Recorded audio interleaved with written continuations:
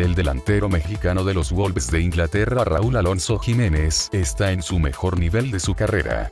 Por lo tanto ha llamado la atención de varios equipos top de Europa. El Manchester United contrató al centrocampista Donny Van de Beek y olvidaron un poco el tema de los delanteros. El exjugador Peter Crouch criticó rotundamente al Manchester United por no negociar la llegada del mexicano Raúl Jiménez. ¿Por qué no se lanzaron por un delantero, como Raúl Jiménez del Wolverhampton?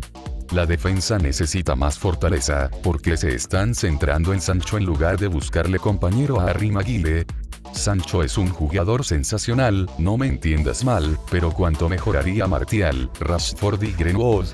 Todos pueden ocupar las mismas posiciones. Los 100 millones de euros de Sancho podrían ser mejor invertidos en otra posición, dijo Crouch para Daily Mail. El ex delantero inglés comentó que estaba ilusionado con lo que pudieran mostrar los Red Devils como refuerzos tras obtener el boleto a la Champions League, pero no entiende por qué llegó Van de Beek teniendo a Pogba y Bruno Fernández en la plantilla. ¿Qué opinas de las palabras del ex delantero de Inglaterra Peter Crouch? Deja tu comentario.